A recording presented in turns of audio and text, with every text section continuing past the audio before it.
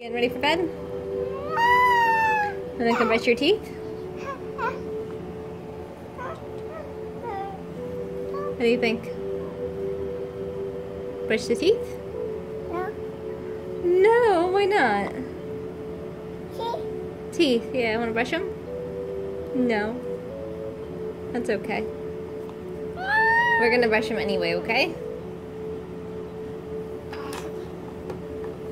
I love that she still fits in her little lamp chair.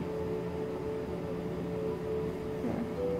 Alright, so we're gonna go brush our teeth and then we are gonna go and lay down and do story time and then we're gonna go to bed.